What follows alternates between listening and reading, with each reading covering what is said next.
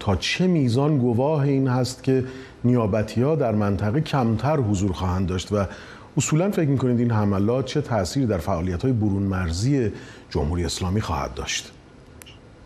فکر می‌کنم که هنوز خیلی زوده که ما برآوردی داشته باشیم به چند دلیل یکی اینکه ما برای اینکه امروز رو ارزیابی کنیم باید پنج یک هفته برگردیم عقب از اون روزی که این سه تا سرباز آمریکایی کشته شد و بعد اعلام شد که آمریکا قرار تلافی کنه و پاسخ بده.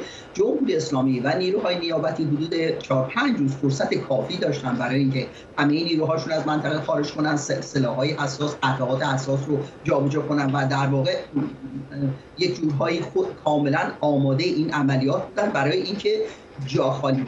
در واقع حمله که انجام شد با وجودی که از سلاحهای بسیار مدر و اون بمبافکن استراتژیک دیوان استفاده شد من فکر کنم اینا حمله به تأسیساتی بود که از چهار روز پیش آماده عملیات بودن در نتیجه یک وضعیت خاصی امروز برای ارزیابی ما باید صبر کنیم ببینیم مرحله بعدی به چه به چه شکل.